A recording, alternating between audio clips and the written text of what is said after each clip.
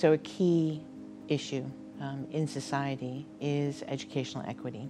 Um, we all know for a fact that there are millions of children who don't receive the education that they deserve. And quite often that gap is a consequence of your, um, your zip code, you know, where you live, uh, who your parents are, what, uh, you know, ethnic group that you belong to, what your socioeconomic status is.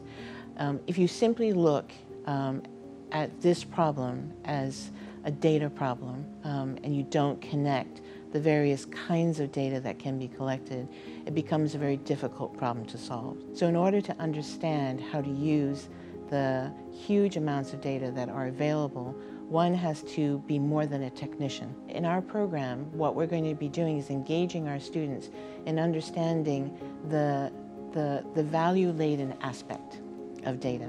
So being able to look beyond the surface, to understand the hidden story behind data and facts is what this program is all about.